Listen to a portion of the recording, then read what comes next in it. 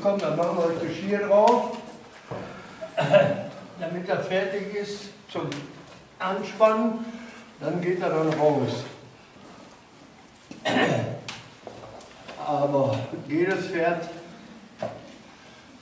hat eine andere Format, eine andere Größe. Jedes Pferd hat ein anderes Geschirr oder einen anderen Zaum. Der eine braucht eine Ohrenkappe, weil er empfindlich ist, der andere geht ohne Ohrenkappe. Ja. Das Mattiger. Ne, wir nehmen das hier. Wir nehmen das Mattiger, wir kriegen Mattiger drauf. Und welchen Zaun? Auch mal, Wo ne? das äh, drin ist.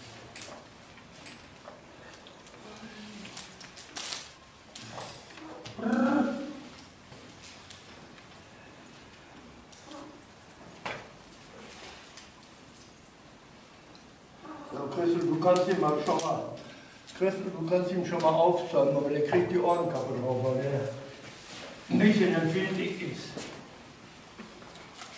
Wo bist du? Ähm, So.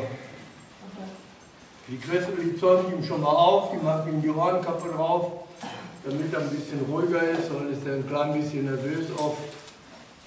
Er ist auch noch jung, der ist erst drei Jahre alt, der muss noch viel lernen.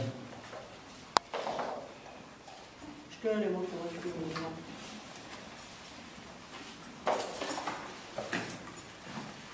Wo ist deine kleine Uhr?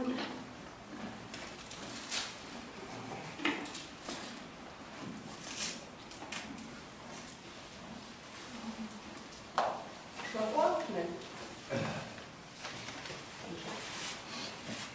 Ja.